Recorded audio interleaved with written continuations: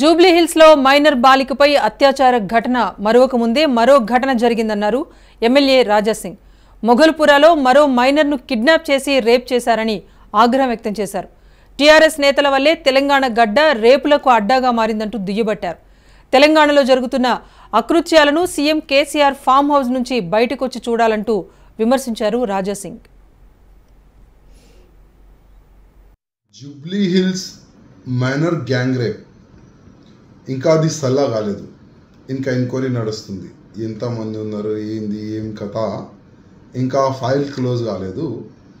ఇంకొక కేసు దృష్టికి వచ్చింది. ఓల్ సిటీలో మొగల్పురా పోలీస్ స్టేషన్ లిమిట్లో ఇంకొక మైనర్ రేప్ జరిగింది. Kidnapping plus rape. Seven days అయింది. ఈ కేసు అయిన తర్వాత ఇవాళ దృష్టికి వచ్చింది. అంటే వాళ్ళు ఫ్యామిలీ వాళ్ళు కంప్లీట్ ఇచ్చిన తర్వాత బయటికి వస్తుంది. మన తెలంగాణ గడ్డ టీఆర్ఎస్ వాళ్ళు ఆశీర్వాదం వల్ల రేపులకి అడ్డగా తయారైపోయింది. మళ్ళా మన హోమ్ మినిస్టర్ గారు కానీ కేటీఆర్ గారు కానీ ముఖ్యమంత్రి గారు కానీ డప్పులు కొడతారు.